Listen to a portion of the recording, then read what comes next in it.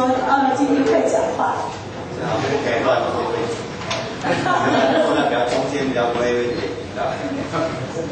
那个，首先呢，还是很高兴啊，有这次的机会啊，接受这个董老师的邀请啊，能够跟董老师来一起啊来合作这个这个案子。那呃，真的是无中生有。刚董老师还开玩笑说，这个展览期间给给了我字画之后就不见我的。所以其实我是在做行动艺术，我就从头到尾就不会出现。他今天应该也不出现。然后骗，我要找理由吧。那其实当然我我我个人在这一次我的我的创作其实非常简单的哈。当然我们也知道像这个呃董老师这这一次当然特别选的这个舞这个主题来来创作好像我们知道这个舞是呃中。他呃，应该说中国，应该讲中国的，在中国传统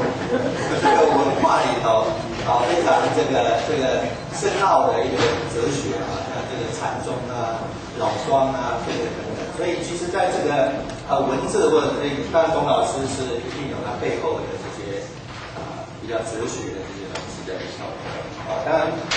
真的是啊要借一个所谓有有这个有形的东西要来。呈现这个无的这个意念啊，真的是就好像啊，西方在讲，人一开口，上帝就笑啊，就好像不能做什么的样子。真正要体现这个无啊，应该是一个非常抽象的的东西的啊。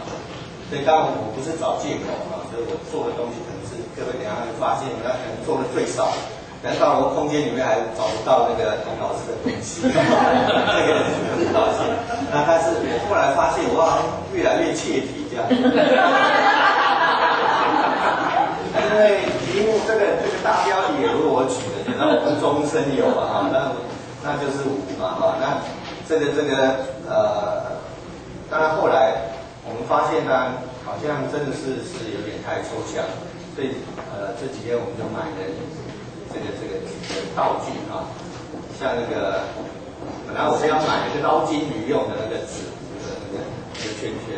就好像是捞字一样啊。其实我我等下各位可以到那个专场能看到。那我基本上其实是是利用一个投影的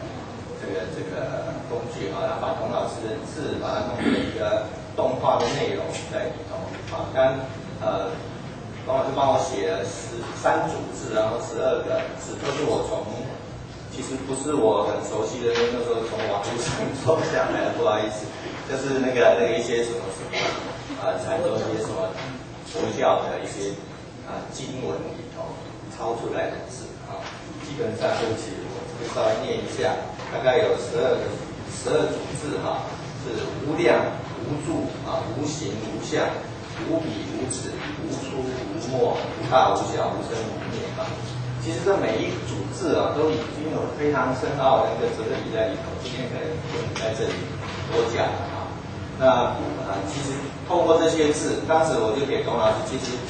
呃，董老师可能觉得，哎，就给他这么小的给我这样，其实我就说，你就写这样小小的给我就好了，好不好？那个小楷也可以，因为我是把它录像以后就变成放大。啊，所以基本上那个字不用很大，但是后来董老师还说这个东西就送给大家了，我就很后悔，因为要一个比较大的。啊，就是说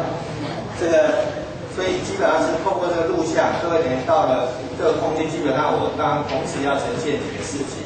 其实基本上也希望就是说从一个整体的这个空间的氛围啊，其实也是要体现你的这个空无的哲理的精神啊，所以在这个空间，各位也知道，如果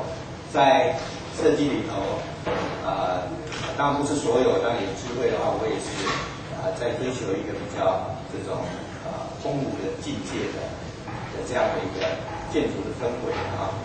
那所以在我的这个空间里头，我也希望借由一个空间去体现这个所谓无的这样的一个主题的哲理的背后的一个东西。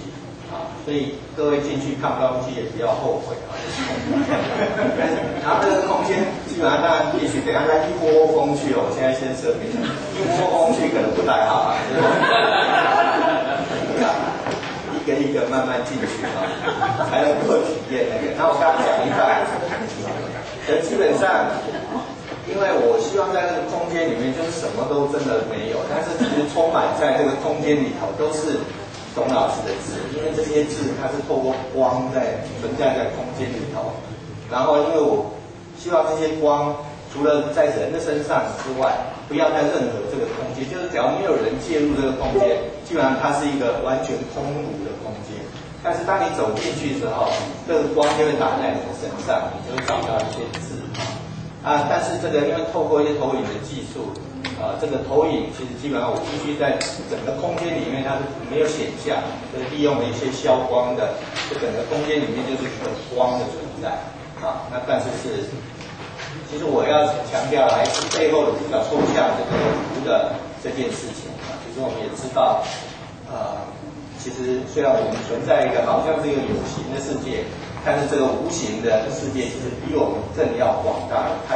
多。啊，希望在这个展览里能够去表达这一部分，就是这个所谓存在以外的抽象的世界。谢谢。